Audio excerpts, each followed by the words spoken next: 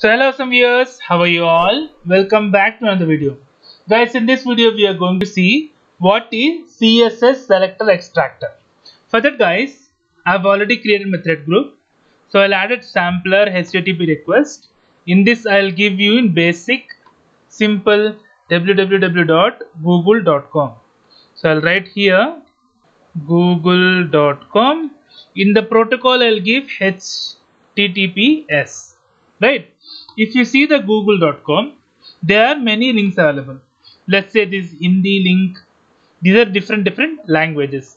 What if we want to click on the Hindi link, navigate to a different page, right? I want to get this data. I can get this data by CSS extractor. So let's see that.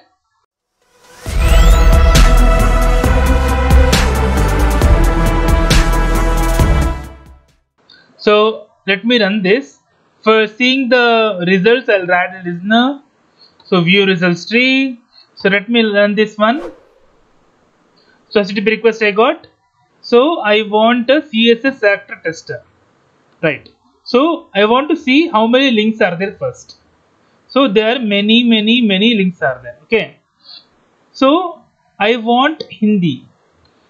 Are see there are few things which are not there, which are not described properly.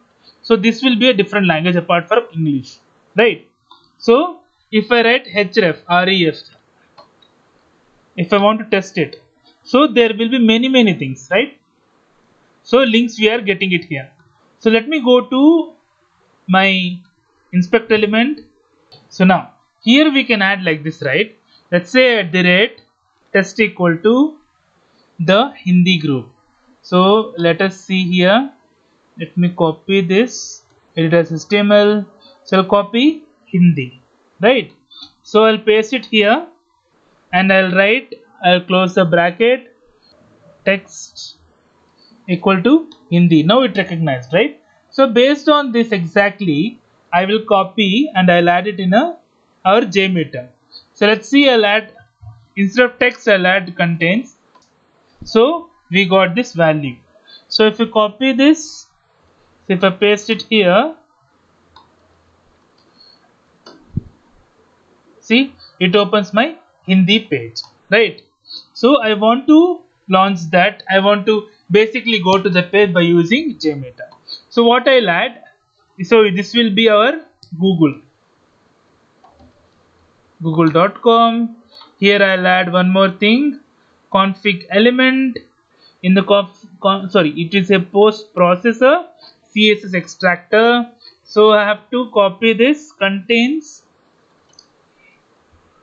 So i'll write uh, this will be jsu pixel by default. Even if i don't define doesn't matter. So i'll write hindi. I'll write expression as this. So i'll write attribute as href. So random variable i'll give one.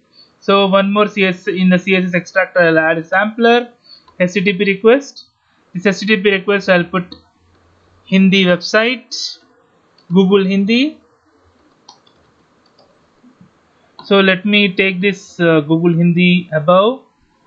And here i'll give the same thing https so it will be a www.google.com here in the path i'll write dollar I'll write what whatever the variable name we have given Hindi I'll write so I'll go here.